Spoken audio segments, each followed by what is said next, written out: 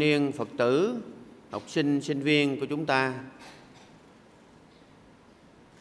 Trước nhất xin kính chúc Thượng tọa trụ trì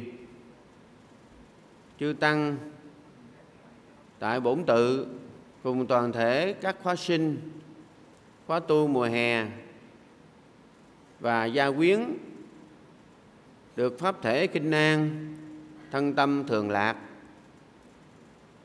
tinh tấn tu hành cuối cùng, tất cả đều được thành chánh quả, đồng nhau cả thảy. Nam mô bổn sư thích ca mâu ni phật.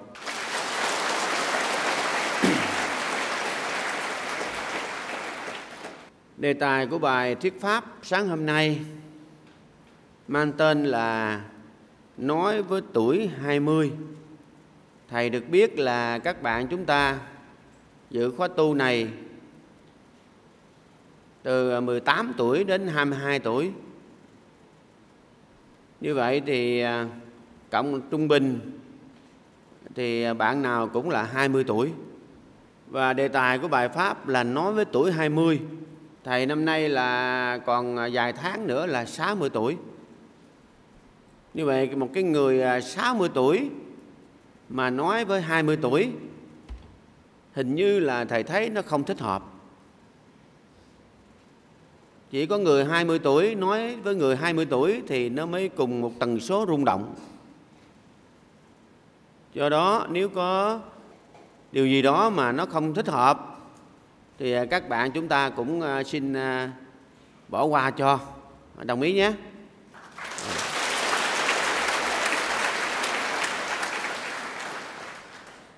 Những lời chia sẻ của thầy như những quà tặng tinh thần à, nếu món quà nào các bạn nhận được thích hợp thì chúng ta nhận. Còn những món ờ, quà nào thầy tặng mà các bạn cảm thấy không thích hợp thì gửi lại cho thầy để đi, thầy đi tặng những chỗ khác. Nói với tuổi 20 tuổi 20 là tuổi đẹp nhất trong cuộc đời. Do đó thầy xin ờ, cầu chúc cho các bạn được xinh đẹp không những bây giờ mà từ đây đến khi chết, đều xinh đẹp. Và xinh đẹp như hoa hồng. Và ai cũng thích hoa hồng.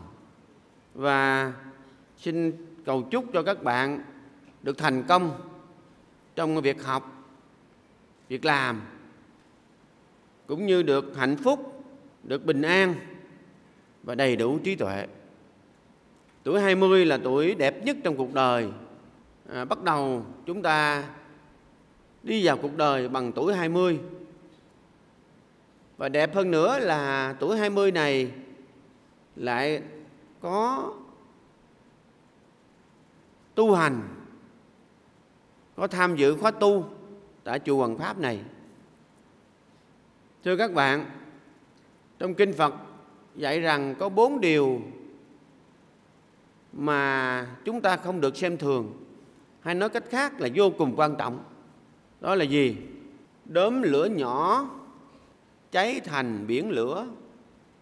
Con rắn con bỗng hóa đại bàng. Hoàng tử bé thành quân dương đại đế. Tuổi trẻ bây giờ đắc đạo không xa.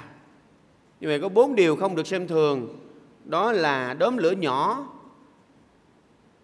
con rắn nhỏ hoàng tử nhỏ và tuổi nhỏ. Các bạn là một trong bốn điều không được xem thường. Nói tuổi 20 tức là chúng ta phải nhìn lại chúng ta. Và chúng ta quan trọng như là ba điều kia. Như một hoàng tử nhỏ, như một đốm lửa nhỏ hoặc con rắn nhỏ. Và chúng ta là tuổi trẻ.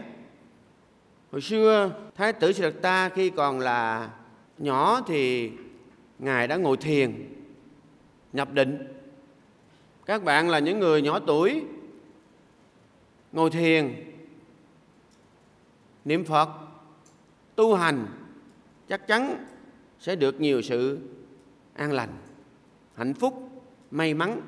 Chúng ta gọi là khóa tu mùa hè do đó trong bài nói chuyện với tuổi 20 này, Thầy xin được nhấn mạnh cái chữ tu. Các bạn đến đây là các bạn tham dự khóa tu hay là hay là đi chơi? Trả lời cho Thầy nghe đi.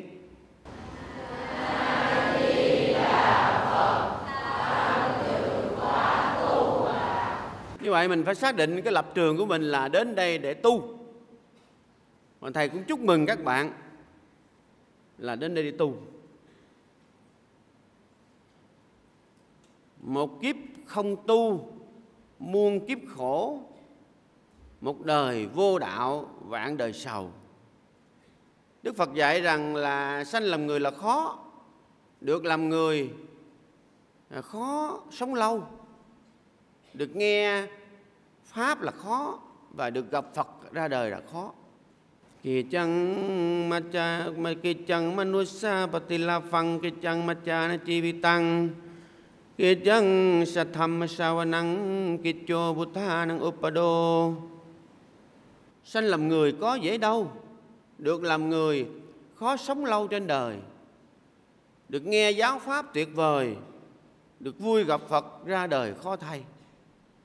Và các bạn là những người có phước báo vô lượng, vô biên, bởi vì chúng ta được sanh làm người. Và tới giờ này chưa chết.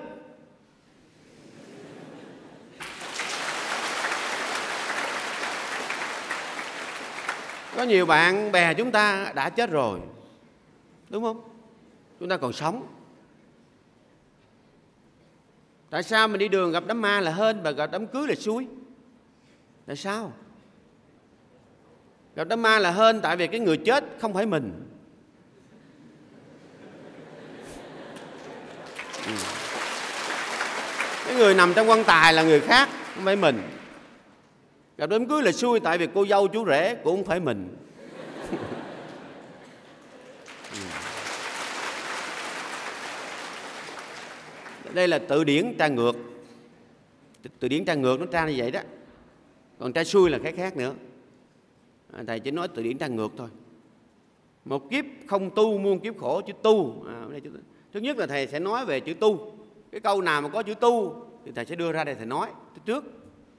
Còn câu nào mà không có chữ tu mà nó có ý nghĩa tu thì thầy sẽ nói sao một kiếp không tu một kiếp khổ mà các bạn lại có tu. Và đặc biệt là dự khóa tu mùa hè 2017 à, cho nên mình không khổ. Yo cha vasa tăng chí về đu silo asmahito e kahang chi vi tăng say yo si la wang tasachayino Ai sống một trăm năm, ác giới không thiền định, không bằng sống một ngày, có giới có thiền định. Các bạn là những người trong ngày hôm nay và trong tuần này, những người có giới hạnh trong sạch và những người có thiền định, sống một ngày bằng một trăm năm và sống bảy ngày bằng bảy trăm năm. Chúc mừng các bạn.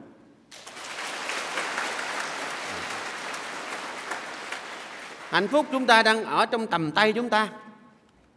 Chúng ta không được buông ra. Hạnh phúc đang ở trong tầm tay. Chúng ta có bảy ngày thanh bình, chúng ta giữ nó. Và đây là kỷ niệm đẹp trong cuộc đời chúng ta. Chúng ta không được buông ra. Chúng ta chỉ được quyền buông cái người yêu phản bội với ta mà thôi.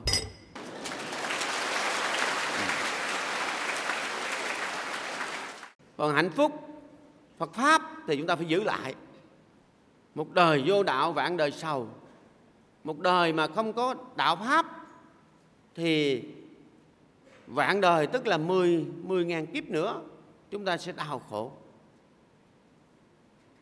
Trong kinh dạy rằng người đi lên bằng hai cái sừng con bò và người đi xuống bằng số lông con bò. Sau khi chết người mà được sanh vào nhàn cảnh thì chỉ bằng à, hai cái sừng con bò.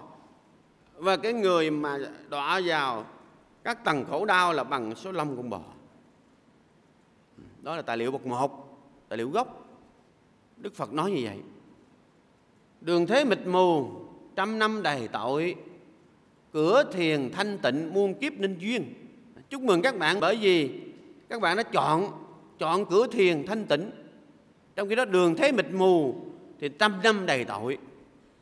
Và chúng ta phát tâm chọn cái cửa thiền thanh tịnh muôn kiếp nên duyên. Mặc dầu chúng ta chỉ chọn có 7 ngày thôi. Sau này đây là một cái duyên lành rất lớn để chúng ta sẽ chọn 70 ngày 700 ngày 7 ngàn ngày như tuổi 20 của thầy đã chọn thầy làm Phật tử đi chùa từ nhỏ. Nhưng mà khi thầy chọn con đường này thì lúc đó thầy 16 tuổi. Thầy là một học sinh học lớp 8 mà chọn con đường này để đi. Và đến bây giờ nửa đường chưa gãy gánh. Nếu như ở bên Thái Lan thì các bạn chúng ta sẽ được làm sư trong 7 ngày. À, làm sư tạm trong 7 ngày trên mạng có một cái clip vua Fumibon Adunzadeh đã từ trần rồi. À, hình ảnh một nhà sư. Lúc đó hình như là khoảng chừng à, 40 tuổi à, à, mang bình à, trì bình khất thực ở trên đường phố của Bangkok Thái Lan. Và những người thần dân của ông vua này là những người Phật tử. Họ mang cơm chuối bánh họ đến họ Ờ, cúng dường cho ông vua Thái Lan đó. Trên mạng nó có đang phổ biến một cái clip như vậy. Rất là xúc động. Những người Phật tử Thái Lan trong cuộc đời của họ họ sẽ tập làm sư trong khoảng chừng ờ, một tuần lễ hoặc là ba tháng hoặc là một năm hoặc ba năm vân vân. Có khi họ đi cả đời. Tuổi 20 của thầy đã chọn con đường là à, đi với Phật mà áo cà sa đi tuổi 20 của các bạn đã chọn con đường là mặc áo tràng. Và bảy ngày này các bạn mặc áo tràng. Áo tràng này là em ruột của áo cà sa. Đọc theo thầy. Đi với phật mặc áo cà sa.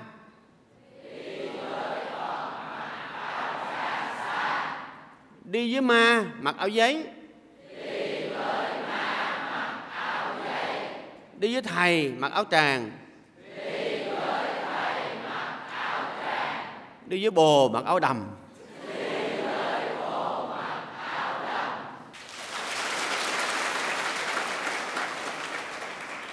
Nên các, các bạn đã chọn chọn cái áo tràng là em ruột áo cà sa để mặc trong một tuần lễ này. Thầy xin chúc mừng một lần nữa.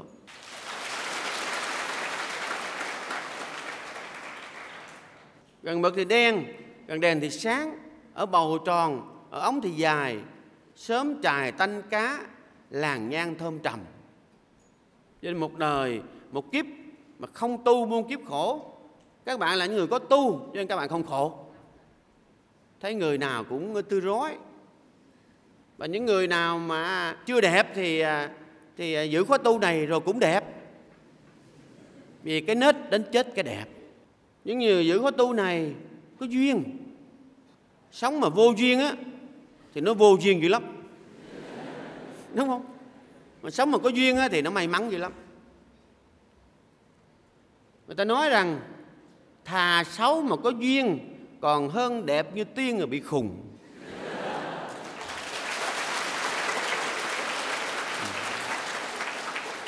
Cho các bạn là những người có duyên. Thầy ước ước rằng thầy sẽ trở lại tuổi 20 nhưng mà cái điều này không thể xảy ra. Các bạn có nhiều thời gian để làm nên những điều kỳ diệu sắp tới. Nếu các bạn có ý chí, có quyết tâm. Còn nếu các bạn sống qua ngày chờ qua đời, thì thầy xin bó tay chấm cơm. Nếu các bạn muốn làm những điều kỳ diệu, thì chúng ta phải hạ quyết tâm. Sau khóa tu này, chúng ta về, chúng ta lên một kế hoạch học hành hay làm việc và cái công việc nào phải theo đuổi 10 năm, 20 năm thì các bạn mới thành công được. Thầy đi tu từ năm à, học lớp 8 mà thầy cũng lúc đó 10 tuổi thầy trẻ cho nên thầy lớp học lớp 8 mà 16 tuổi. Mà thầy cũng lên một cái cái cái kế hoạch là thầy phải học học hết lớp 12 rồi phải tìm cách học hết đại học rồi tìm cách học tới cao học, thạc sĩ. Rồi tìm cách học tới tiến sĩ. Mình phải lên một cái kế hoạch như vậy thì mình mới thực hiện được, mới thành công được. Cho nên các bạn ở đây một tuần lễ, bình tâm lại, mà suy nghĩ à, thiết kế một cái chương trình tu học làm việc của mình, để sau 20 năm nữa, chúng ta đạt được cái điều chúng ta mong muốn. Có thể thầy bây giờ thầy có tiền, thầy có điều kiện có thể thầy nói, người ta sẽ cho thầy tiền, mua được đồng hồ, nhưng không mua được thời gian. Các bạn không có tiền, nhưng mà các bạn có thời gian. Xin chúc mừng những người không có tiền mà có thời gian.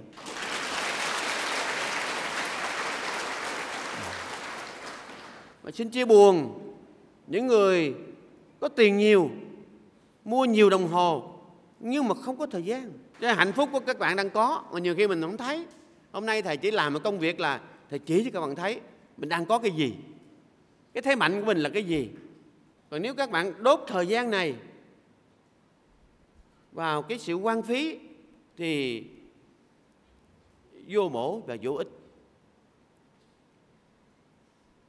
Các bạn giữ khóa tu này để mục đích để gặp gỡ các sư thầy, những người đã đi qua một chặng đường dài và những người này họ sẽ tư vấn cho chúng ta chúng ta cần phải làm gì? Tuy nhiên, mỗi bạn chúng ta phải tự mình đi bằng hai bàn chân của mình. Tự mình thắp đuốc mà đi. Tự mình làm thầy của mình. Tự mình làm hải đảo nương nhờ trên mình. Chúng ta có nhiều tiền, mua nhiều đồng hồ, nhưng mà không mua được thời gian. Chúng ta có nhiều tiền, chúng ta mua được nhiều thuốc, nhưng mà chúng ta không mua được sức khỏe. Các bạn có sức khỏe tuổi của thầy và các thầy cùng thế hệ với thầy, sức khỏe nó đã hao mòn rồi. Còn các bạn có sức khỏe. Mặc dù thầy biết rằng trong hội trường này và những hội trường lân cận, ở đây có nhiều bạn, sức khỏe bây giờ cũng không có. Và nhiều bạn suy nghĩ trước khi nhắm mắt vào để tu một khóa, rồi nhắm mắt rồi cũng yên tâm. Còn những bạn nào mà có sức khỏe, thì thầy cũng xin nhiệt liệt một chúc mừng. Cho nên các bạn có thời gian, có sức khỏe, có lý tưởng, có tình yêu. Những thứ này, thế hệ của các thầy đây không có, thời gian không có, sức khỏe không có. Bây giờ mình nói lý tưởng, mình thiết lập lý tưởng thì nói về lý tưởng tâm linh thì nó có, nhưng mà cái lý tưởng về trong cuộc đời ngắn ngủi 60 năm này nó không có nữa. Cái đây 40 năm thì thầy có thể thiết lập lý tưởng, nhưng bây giờ thì thầy không thể thiết lập lý tưởng theo kiểu bình thường được bình thường được. Nhưng mà lý tưởng của các thầy đây là giải thoát là thành Phật, nó là một chuyện khác nữa. Rồi tình yêu, thì những người lớn tuổi như các thầy đây thì tình yêu bây giờ cũng xếp hồ sơ hết rồi. Đúng không? Chỉ có những người khùng khùng thì mới sáu bảy mươi tuổi mà vẫn còn đi đi yêu. Còn các bạn là có có tình yêu, có lý tưởng, có thời gian, có sức khỏe. Các bạn ngồi đây, thầy nói, các bạn cười đây là hạnh phúc. Có nhiều bạn không có nụ cười đó. Thầy thấy có nhiều bạn 12 giờ đêm ra đứng cười của mình mình. 12 giờ trưa đứng cười của mình mình. Tại các bạn đó yêu một cách cuồng dại, rồi bị người yêu bỏ đi, rồi thất tình 12 giờ đêm đứng cười của mình. Thành kính phân u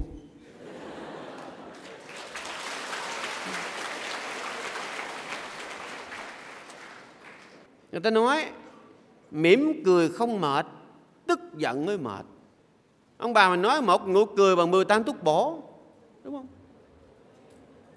Một cơn giận bằng 10 gói thuốc chuột. Còn cái trường hợp mà bạn kia 12 giờ đêm đứng cười mình á, là cười không đúng chỗ, lỗ 10 thang. Ừ. tại là cái lộ trình của các bạn nó đi không đúng gọi là xe lửa mà trạc đường rầy cho nên 12 giờ đêm cười của mình mình thôi. Đơn thuần không mệt phức tạp mới mệt. Bạn nào mà có cái tính tình phức tạp á nó mệt dữ lắm.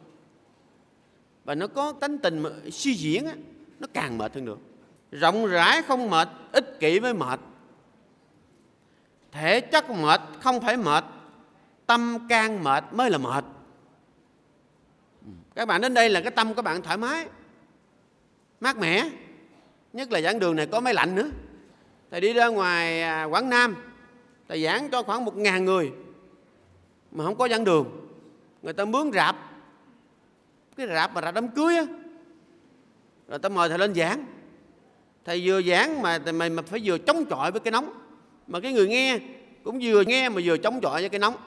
Cho nó chia hết 50% còn các bạn chúng ta có phước toàn là con ông cháu cha cho nên đến đây ngồi đây nghe trong cái giảng đường này.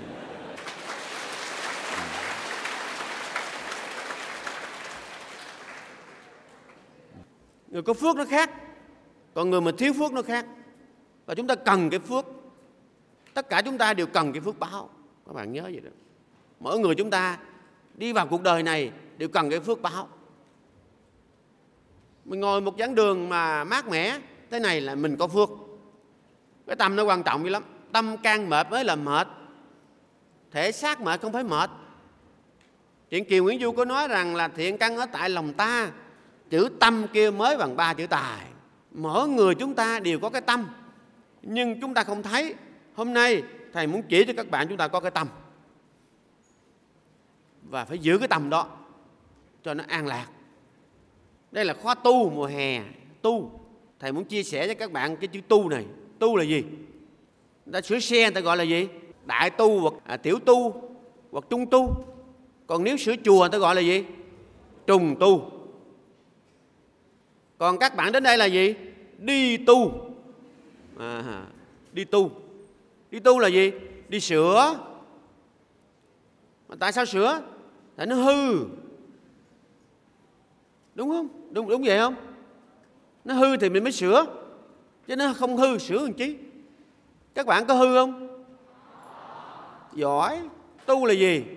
Tu là trong à, phật học giáo khoa thư chữ hán người ta dạy rằng tu hành giả tu cải hành vi xả ác thủ thiện ly tục tùng đạo giả hành trụ tọa ngọa yếu cung kính. À, tại đề nghị ngắn gọn rồi thôi. Tu là gì?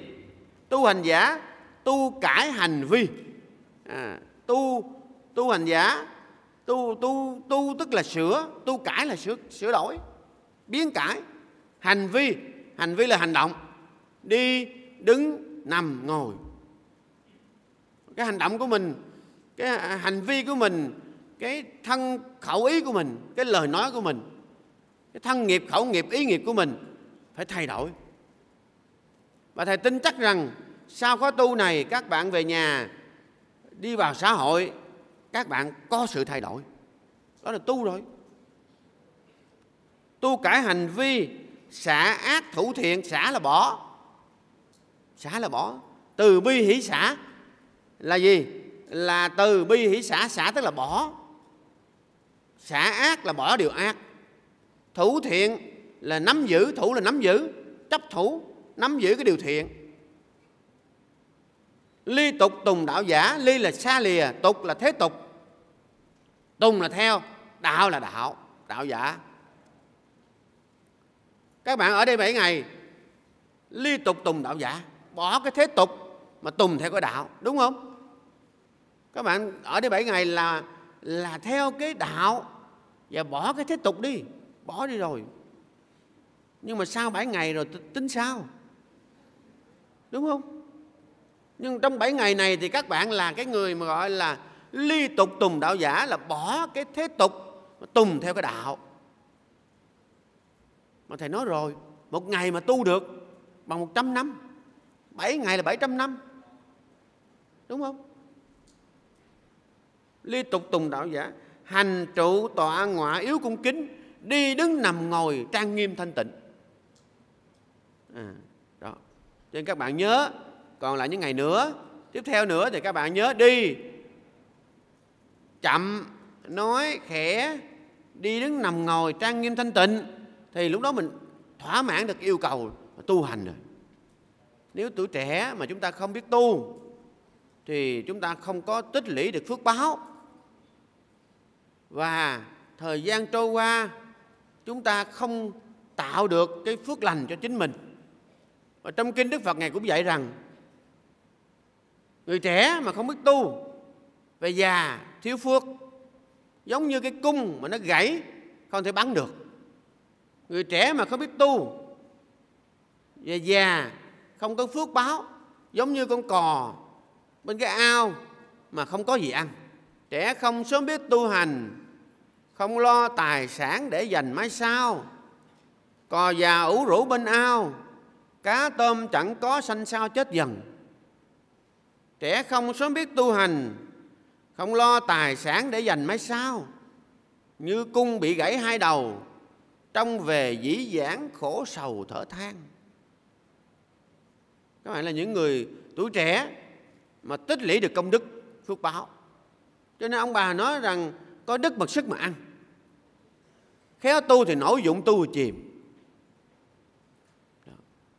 và câu kinh này Đức Phật này dạy trong kinh Pháp Cú 155 và 156 nói về cái người trẻ mà không biết tu thì về già không có phước báo. Sau này các bạn có già không? Bây giờ các bạn già chưa? Chưa già thì thầy sẽ nói, nếu các bạn nào nói già rồi à, thì à, thầy à, xin chúc mừng. Các bạn nào nói chưa già thì thầy xin chia buồn. Nếu các bạn không tin là mình già rồi thì à, sao khóa tu về nhà lấy tấm hình mình lúc mình chụp năm sáu tuổi. Với cái hình bây giờ hình nào già hơn? Già chưa? Nhưng mà nếu như các bạn nói các bạn chưa già thì à, già chục năm nữa các bạn cũng già. Rồi nếu mình nói chưa già nhưng mà mấy chục năm sau mình sẽ già. Nhưng mà thầy nói các bạn là mình già rồi còn nếu các bạn nào chưa chịu, thì thầy cũng xin chấp nhận. Là bây giờ các bạn 20 tuổi, thì thầy xin báo tin cho các bạn là 60 năm nữa, các bạn sẽ già. Và nghe cái bài này, thầy đọc nhanh thôi. Bài này mang tên là bà già lên Facebook. Lên face những chuyện gần xa biết liền, nên nhờ nó lập nickname để đọc tin tức mọi miền gần xa. Ói âm mấy đứa hại bà, lại đăng hình ảnh bà già lên face. Không đăng ảnh chụp mới đây, mà đăng cái ảnh những ngày còn son. Vào face mới được mấy hôm, mấy thằng trai trẻ chat luôn với mình.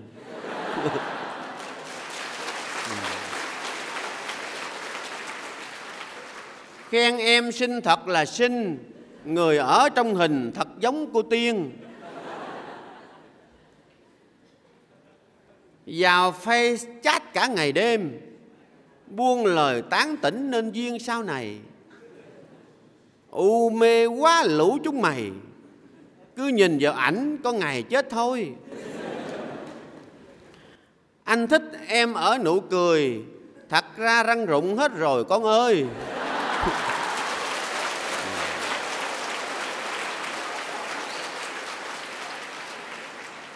anh thích đôi mắt bồ câu, thật ra thì đã nát nhào chân chim. Anh thích dáng vẻ thơ trinh, ngoài đời nhìn thấy đứng tim con à.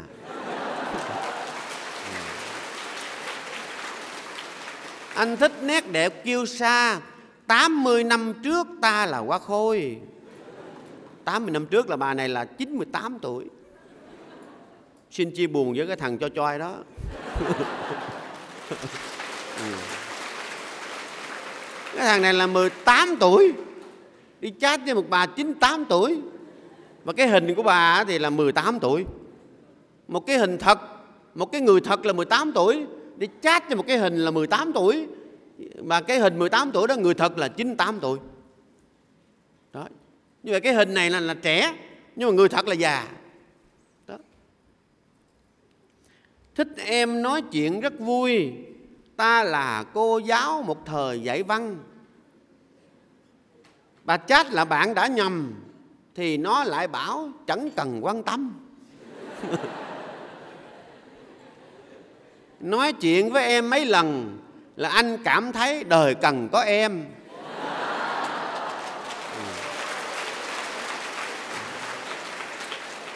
Nó hỏi quê quán họ tên, trả lời với nó nickname mộng đào. Bà già 98 tuổi mà tên nghe đẹp quá ha.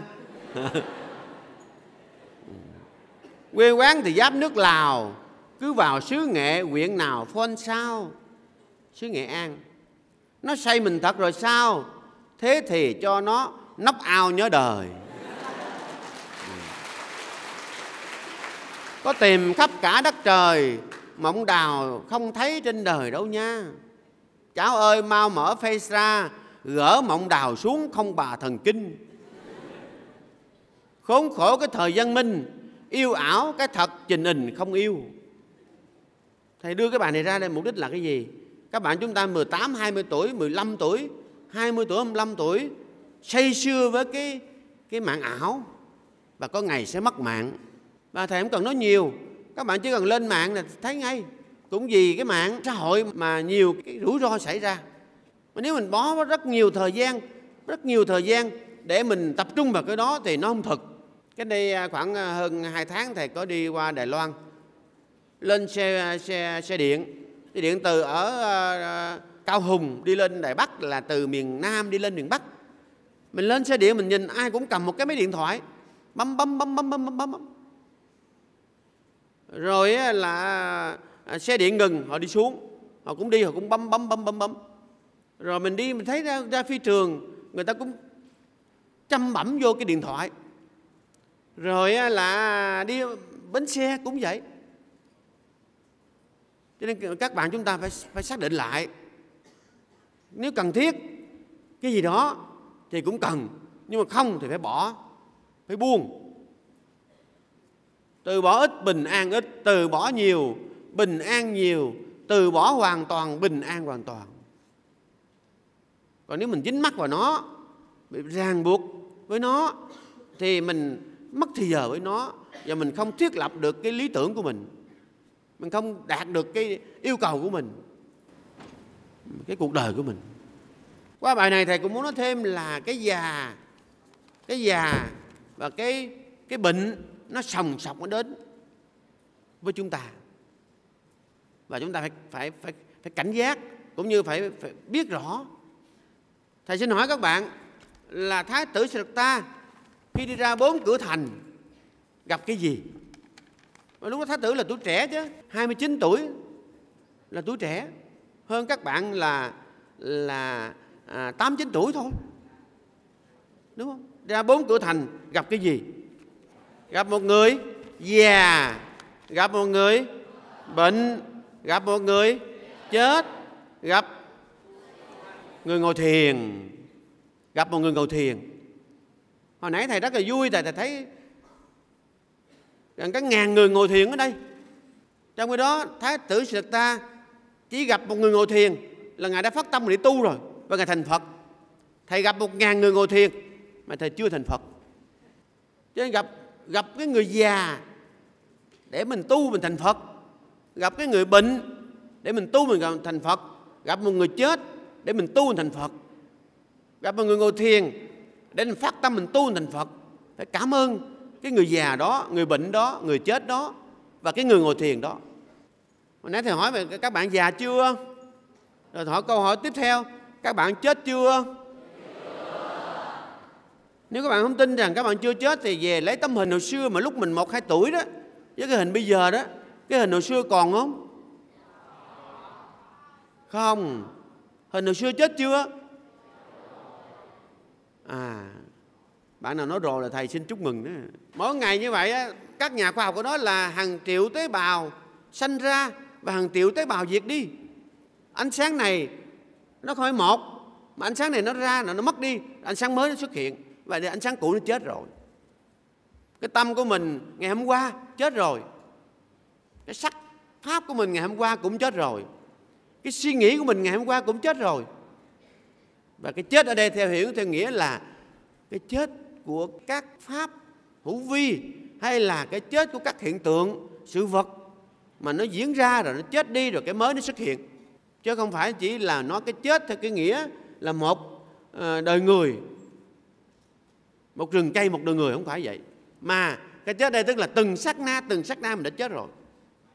Như vậy thầy sao nếu bạn nào mà thấy thấy được cái già, rồi thấy được cái bệnh, rồi thấy được cái chết, thì các bạn đó dễ tu. Tu dễ hơn. Đúng không? Đi đường gặp đám ma là hơn là tại sao? Tại vì người ta nhắc mình à, mình tu. Thấy người chết biết mình rồi cũng chết. Thấy người đau mình khỏe mãi hay sao? Xe tan vừa khuất qua mau, đưa người hôm trước, hôm sau đưa mình. Cho nên mình thấy cái chết để mình tu. Mà tu là cội phúc. Sư rằng phúc quả đạo trời, cội nguồn cũng ở lòng người mà ra. Có trời mà cũng có ta. Tu là cội phúc, tình là dây oan. Mà người nào thấy được cái già, cái bệnh và cái chết người đã giác ngộ, giải thoát. Người nào thấy được cái già, cái bệnh, cái chết, thì người đó mới từ bỏ tham, từ bỏ sân, từ bỏ si. Mà người nào từ bỏ tham, sân, si thì người đó được giải thoát phiền não. Mà người nào được từ bỏ tham, sân, si người đó có niết bàn. Niết bàn năng paramang xuất khăn niết bàn là hạnh phúc tối thượng, niết là không. Bàn là tham, sân, si. Niết bàn là không có tham, sân, si. Bạn nào mà không có tham, sân, si thì bạn đó có niết bàn. Niết bàn từng phần từng phần. Rồi cuối cùng các bạn sẽ có niết bàn toàn phần. Trong một tuần lễ, các bạn ở đây, các bạn có tham sân si không? So với ờ, trước đây thì nhiều ít ít hơn. Tức là ta đạt được cái niết bàn từng phần, cái tham sân si mà ta diệt tận từng phần từng phần. Các bạn dự khó tu. Trong lúc này, giá gạo khỏi bồng em bồng em khỏi giá gạo. Mình có tu thì tự nhiên mình không có phiền não. Mình mình có phiền não tức là mình không có tu. Đâu phải già mới chết trẻ cũng vẫn vô thường, trăm dạng muôn nẻo đường, làm sao tránh cửa tử. Cho nên đừng giận dữ, làm đau khổ lòng người. Hãy san sẻ nụ cười, mang cho người hạnh phúc. Thị phi sinh dừng lại. Đúng sai được gì đâu, cãi vã mắng nhiếc nhau, đừng gây thêm thù hận. Cái gì là vô tận, trong cuộc sống vô thường hãy san sẻ yêu thương tùy duyên mà thanh thản.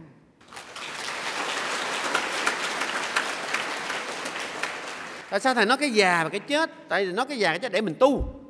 Tu thì mình được có phước báo. Mà chúng ta cần phước báo cho chúng ta cần tu. Các bạn đến đây vì chùa pháp hay là vì vì chính mình? Vì chính mình.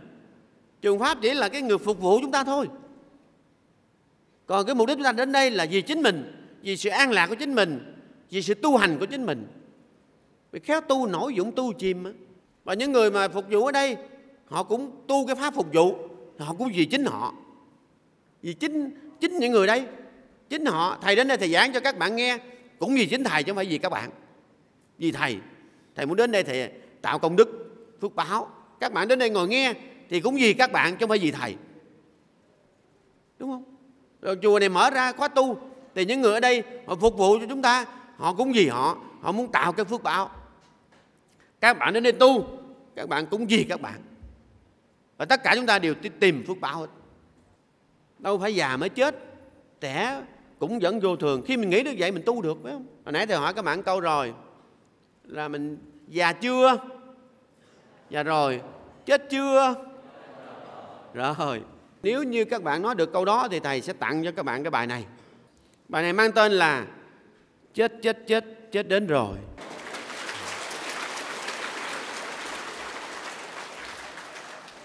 Thầy à, chỉ đọc diễn cảm thôi. Đây là một bài hát. Mình đọc diễn cảm thôi. Thầy thầy cũng được quyền hát. Là các bạn không còn vỗ tay. Cái yêu cầu của thầy là nghe cái lời, không cần vỗ tay theo. Vỗ tay theo nó mất cái lời đi, uổng lắm. Nghe thầy đọc nha thầy nói khó sinh yên lặng nha khó sinh rồi. Chết chết chết chết đến rồi. Chết chết chết chết đến rồi. Chết chết chết chết đến rồi. Chết đến trong muôn cuộc đời. Ngày chết đến trên khắp muôn nơi, dòng hoa thơm tan tóc đâu vui. Còn chỉ đâu tham đắm đuôi, đời si mê bao nỗi thăng trầm thầy hỏi các bạn một câu nào hồi xưa đức phật ngài hỏi một cái người phật tử. Vì vì à, lúc bấy giờ có một bà phật tử bà có đứa con duy nhất và con bà chết. Đức phật mới bảo rằng để tìm cái nhà nào xin ít thục cải về đây thì đức phật ngài sẽ cứu sống con của bà vậy. Nhưng mà với điều kiện trong nhà nào không có ai chết đó mới được. Thì bà đi tìm, học cải thì người ta cho. Ở ấn độ thì người ta, chủ yếu ta trồng cái hạt cải đó, cánh đồng bao la. Rồi là họ cho hột cải rồi, thì bà mới hỏi trong nhà này có ai chết chưa? Thì cái nhà nào cũng nó có người chết rồi. Không có ông nội, ông ngoại hoặc là ờ, cha, mẹ, anh em gì đó. Nhà nào cũng vậy. Thần chết không có từ bỏ bất cứ nhà nào. Chết đến trong muôn cuộc đời là vậy đó đọc lại cái khổ bốn khổ, tiếp theo. Ngày chết đến trên khắp muôn nơi dòng qua tôm tan tống đâu vui. Còn chỉ đâu tham đắm đuôi đời si mê bao nỗi thân trầm. Ngày chết đến ai chẳng thương đau một năm thêm nhan sắc nhăn nheo. Dù đi đâu ai cũng thế về chung vi trong nấm mồ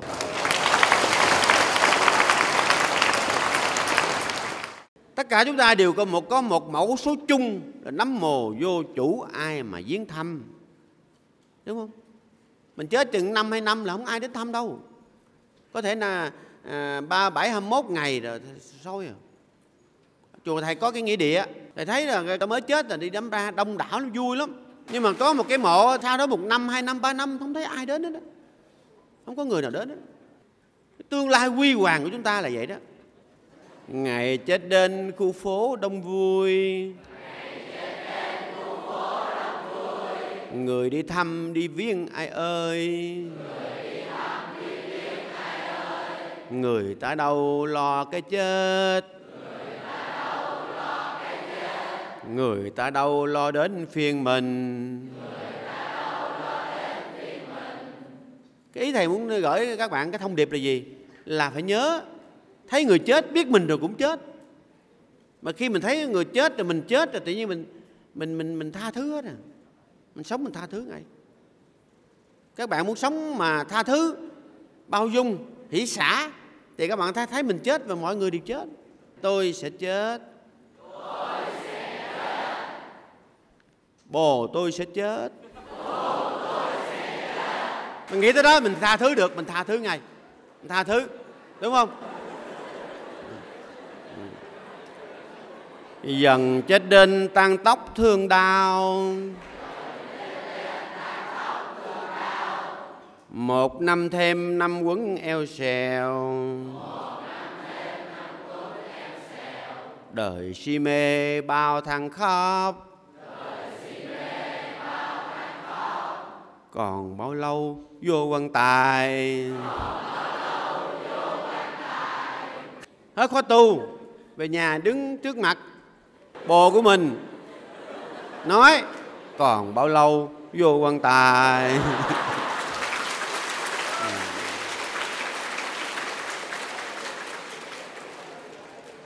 Các bạn thấy đức thái tử ta thấy được cái sanh cái già cái bệnh và cái chết thì mới tu được. À, mới tu được mới thành phật được. Ai thấy được cái sanh già đau chết thì người đó thành phật. Bao nhiêu năm làm kiếp con người là sanh ra. Chợt một chiều tóc trắng như vôi là già. Lá úa trên cao rụng đầy là bệnh. Cho trăm năm vào chết, một ngày là chết. Sanh lão bệnh tử. Và thầy xin chúc mừng các bạn. Mình nói cái chết nhưng mình sống. Mình biết rằng cái sanh lão bệnh tử, nhất là nói về cái chết, nhưng mà thật sự mình sống, mình đang sống tỉnh giác. Mỗi người đi đâu, ở đâu cũng mang kè kè cái sanh già đau chết đi theo hãy tập làm cầu thủ, chụp quả banh cuộc đời. Cuộc đời này là, đời là bể khổ mà. Mà tại sao đời là bể khổ? Tại vì đời là sanh, là già, là đau, là chết. Cha tiếp đức kha sanh là khổ, cha ra bí đức kha già là khổ già đi bí đức khăn bệnh là khổ ma ra năng bí đức khăn chết là khổ. Mà cái người nào thấy được cái sanh già đau chết là khổ, thì người đó thành phật. Ý tí đức khăn bá cha na tí dễ biết đây là khổ. Sanh già đó chết là khổ. Vị ấy biết đây là khổ. Giá tha phu tăng như thật như chân hôm nay các bạn là những người trẻ tuổi. Thầy nói những điều này không phải dành cho người già, dành cho người trẻ. Ừ. Để mình chuẩn bị cho cuộc đời của mình nó đẹp và chuẩn bị cái sự ra đi của mình nó an lành đọc với thầy. Sống qua ngày. Chờ qua đời. Đúng không? Sống qua ngày. Chờ vô hồn. Sống qua ngày. Chờ xuống mồ. Mình nghĩ được như vậy, tự nhiên mình mình tu được, mình từ bi hỷ xã được mà cái mục đích của mình là từ bi hỷ xã là chánh niệm trí tuệ. Mà muốn tu được những cái pháp đó thì mình phải suy nghĩ vậy. Trong 40 đề mục tu thiền thì có đề mục niệm hơi thở, có đề mục niệm phật, có đề mục niệm sự chết, vân vân. Nên thầy muốn chia sẻ thêm vậy thôi. Các bạn chúng ta phải có trí tuệ để thấy thấy cái gì? Hoa đẹp, hoa thơm, hoa vẫn tàn. Tình nặng tình sâu, tình vẫn tàn. Rượu đắng, rượu cay, rượu vẫn hết. Câu này hay nhất mà thầy thích nhất. Người hứa, người thề, người lại quên.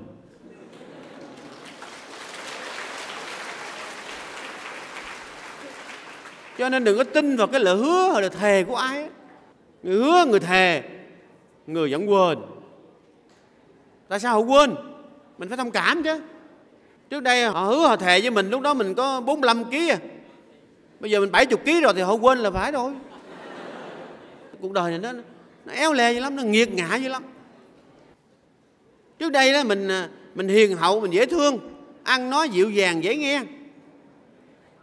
Bây giờ mình hiện nghiêng hình là sư tử hà đông. Làm sao người ta có thể giữ lời hứa, lời thề được, đúng không? Nó vậy đó. Trăng lên trăng tròn, trăng lại khuyết. Tuyết rơi, tuyết phủ, tuyết lại tan. Hoa nở, hoa rơi, hoa lại tàn. Tình đẹp, tình sâu, tình lại tan. Người đẹp, người xấu, rồi cũng hết. Cho nên các bạn nào mà xấu, yên tâm mà xấu. Người đẹp, người xấu rồi cũng hết người đẹp rồi cũng hết đẹp, mà người xấu rồi cũng hết xấu. Mình cùng một bà con nhau. Người đẹp rồi cũng hết đẹp, chết rồi. Người xấu rồi cũng hết xấu. Người đẹp đừng có cống cao ngã mạng mình nghĩ là mình đẹp, mà người xấu đừng có tự ti mặc cảm. Mình nghĩ mình xấu. Người giàu, người nghèo rồi cũng chết. Yên tâm mà nghèo. Bởi người nghèo cũng chết, người giàu cũng chết. Cách đây khoảng ba chục năm là có cái bộ phim là người giàu cũng khóc á. Nhớ không? Các bạn nghe câu này phải tu mà tu là sao? Sửa như thế nào? Nghe. Muốn được yên tu phải biết ngu dù cho có mắt cũng như mù. Có tai như điếc thường câm lặng chỉ nhớ trong đầu một chữ tu. À, hai có hai chữ tu. Muốn được yên tu phải biết ngu dù cho có mắt cũng như mù. Có tai như điếc thường câm lặng chỉ nhớ trong đầu một chữ tu vậy các bạn muốn tu để có phước báo thì phải giả ngu. Có những cái điều mà mình không có can thiệp vô được. Có những cái điều mình cũng không phải là mình à, muốn là được đâu. Có một câu đó rất hay. Hôm qua tôi rất thông minh. Tôi muốn thay đổi cả thế giới này. Hôm nay tôi có trí tuệ. Tôi chỉ muốn thay đổi chính tôi mà thôi. Tu tức là thay đổi chính mình. Thay đổi chính mình bớt nghe những tiếng khen chê, cho tâm thanh tịnh thoát mê hồng trần. Bớt nhìn cảnh sắc trầm luân, cho đời thanh thoát tinh thần thăng hoa. Bớt nói những chuyện bất hòa, gia đình hạnh phúc, nhà nhà thêm vui. Bớt mùi thương ghét trong tôi, bỏ đi tâm niệm bùi ngùi chán chê. Bớt dị thưởng thức no nê, vượt xa vọng tưởng trở về tĩnh tâm vui thay năm bớt trong tâm, an vui thanh tịnh, xứng tầm thoát mê. Tức là bớt đi, bớt nghe, bớt nhìn, bớt nói, vân vân. Bớt tiếp xúc. Các bạn có thấy ờ, những con khỉ mà nó bịt mắt, bịt tai, bịt mũi không? Có thấy không? Đó, tu theo cái cách đó. Thì tâm mình an lạc, hạnh phúc. Các bạn đi vào trong chùa tu, thì đương nhiên những cái tập khí của mình những cái tánh tình cũ của mình những cái ham ăn ham ngủ của mình nó vẫn còn. Nó còn không? À, nhưng mà yên tâm. Mình tu thì tu. Mà những cái tánh tình cũ của mình nó vẫn còn rơi rớt nó chưa hết thì mình cũng chấp nhận. Còn hơn là mình không tu được.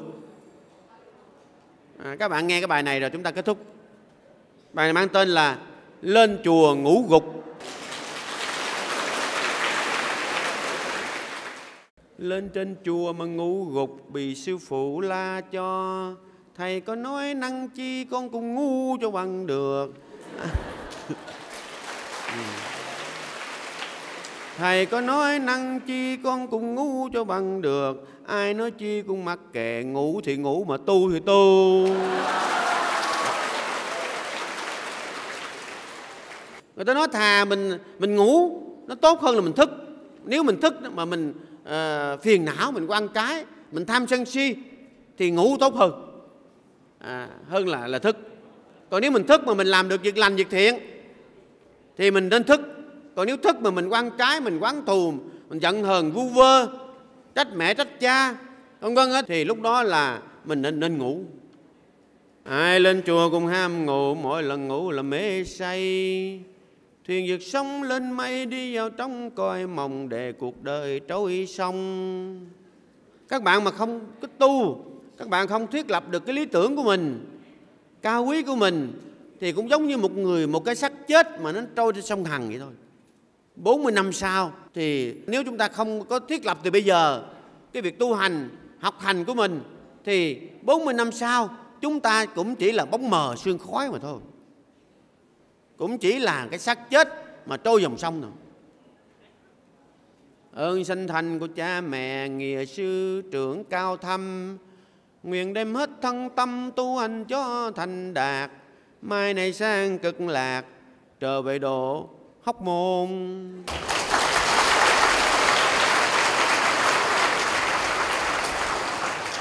Mình ráng tu, nghĩ đến ơn sanh thành của cha mẹ nghĩ đến thầy tổ. Và gọi là bốn ân nghĩa cao quý, đó là ơn tam bảo, ơn cha mẹ, ơn đất nước và ơn chúng sanh dạng loại. Thầy mang ơn các bạn, bởi vì các bạn đã ngồi nghe thầy một tiếng 10 phút này, thầy mang ơn các bạn. Các bạn cũng mang ơn thầy vì thầy đến đây để giảng cho các bạn nghe Đó mình mang ơn à, đất nước này vì đất nước này đã cho chúng ta à, một cái đất nước thanh bình để mà chúng ta được yên ổn đến đây tu hành. Và chúng ta mang ơn đức phật, giáo pháp và chư tăng, mang ơn thượng tọa trụ trì, mang ơn chư tăng tại chùa Hoàng pháp đã tổ chức